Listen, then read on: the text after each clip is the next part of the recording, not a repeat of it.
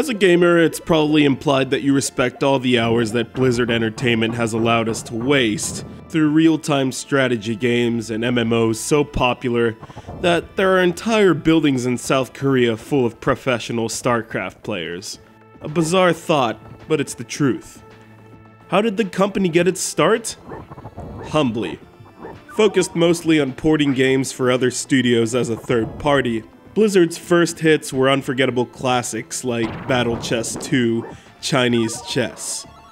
It wasn't until the mid 90s that the company began to grow and focus on making their own strategy games. Part of every Blizzard fan's shelf should be made up of the Lost Vikings series, a smart, immersive strategy gameplay experience that will have you hooked for hours.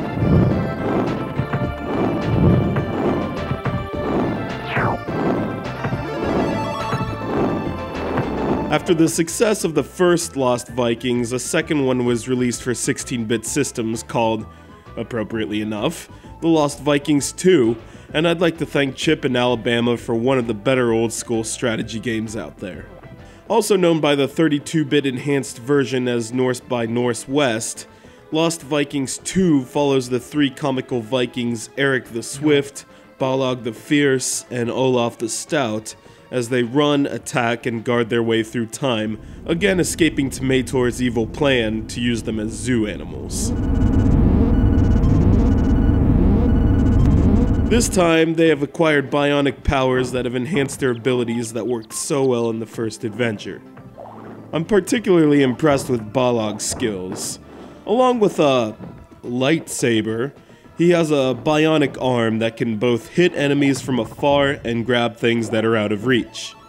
Olaf is still a big fatso with a stupid grin on his face, but his abilities haven't lost any importance. Along with his shield that can be used as protection and even allow him to glide midair, his powerful farts can propel him across a chasm or even break down floors that block his path.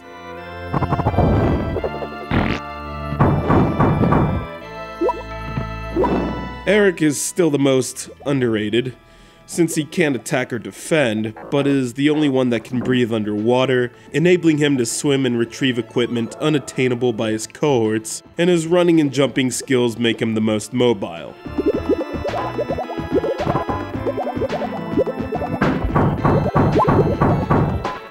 Along for the ride are the werewolf Fang, who can jump from wall to wall, and the fire breathing dragon Scorch, who can hover in midair.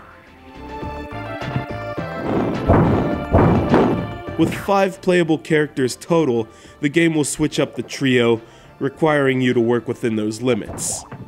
This is an exceptional combination of platform and strategy elements, and there's no doubt that World of Warcraft or Diablo aren't the only addictive games that Blizzard has made. It's testament to the company's pedigree and a reason why they have come this far in the industry today.